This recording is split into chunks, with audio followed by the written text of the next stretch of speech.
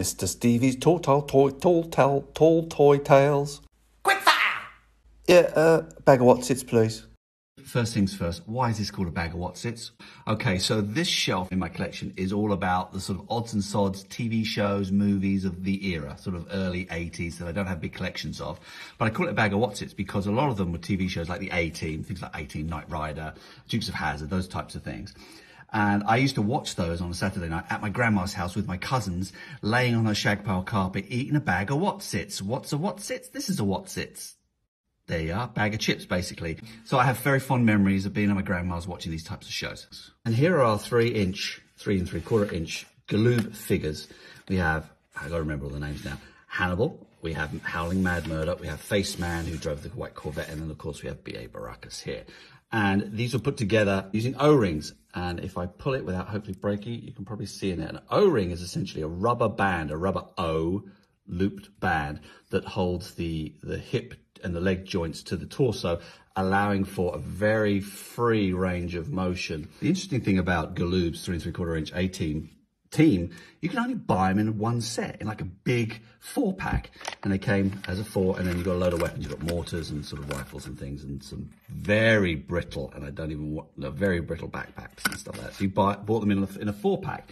You could also buy the bad guys in a, in, in a four pack. You could also get, of course, you could get the van, and I really want the van, but I've yet to find one that is in the quality that I like it. It usually has, the, the GMC badge is usually broken, and it's scratched and scuffed, and but I'll get one. I'll get one. And you could also get, you get Faceman's Corvette. You could get things like a patrol boat, a helicopter. You could get a Heroes camp set, which came with a load of sort of, um, like, I think little dinghy boats and sandbags and stuff and tents that you could make up their own uh, camp.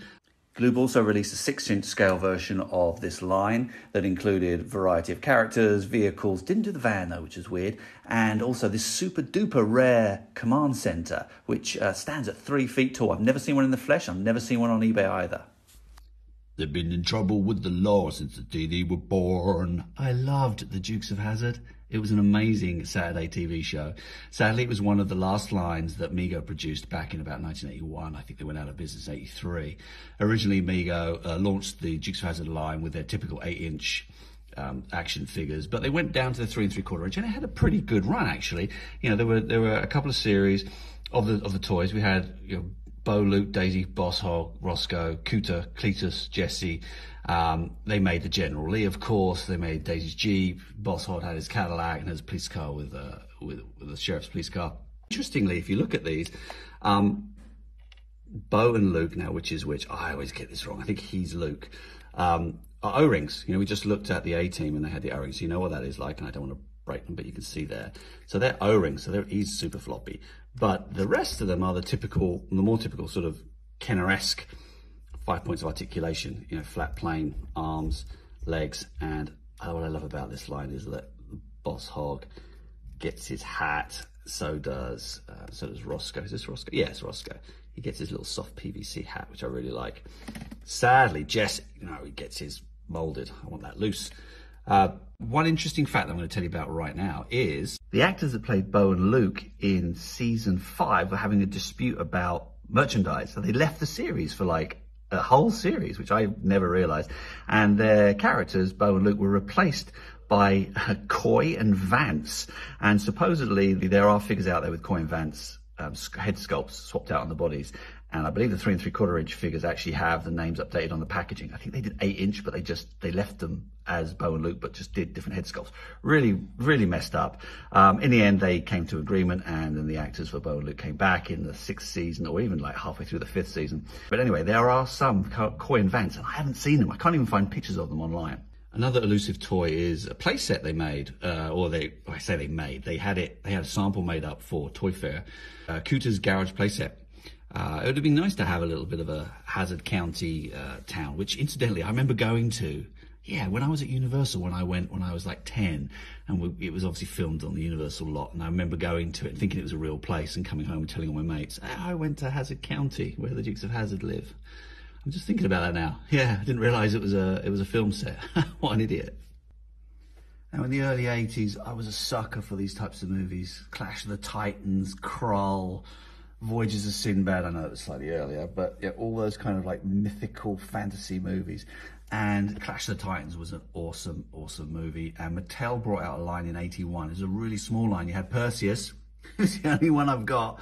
That's going to change. You had Calibos, you had Thallo, who was uh, Tim Pigott Smith, good old English actor. Uh, Charon, which is the boatman. You had Pegasus, and then obviously this big Kraken, which goes for like $700 nowadays. It's uh, crazy. Um, I didn't realize this was Harry Hamlin. You know, I have to watch um, Housewives of Beverly Hills with my wife, and I see this guy on it. It's Harry Hamlin. I'm like, why do I know him? Where, do, where have I seen him before? Just realized he's Perseus so Perseus comes with his sword, a really nice detailed shield, and it's actually very realistic looking. Looks just like Harry.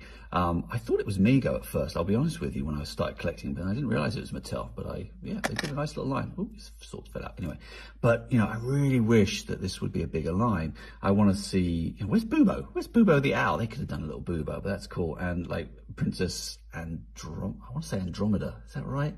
Anyway, the, the princess, I'd like to have seen her. And actually, there is some really sweet customs out there by a guy called Joshua Izzo, and you should definitely check them out. He's done a load of a load of extra figures. He's done Zeus. He's done Andro- oh, he's Andromeda. He's done Andromeda. He's done Bubo. He's done play sets using the old Indiana Jones Well of Souls.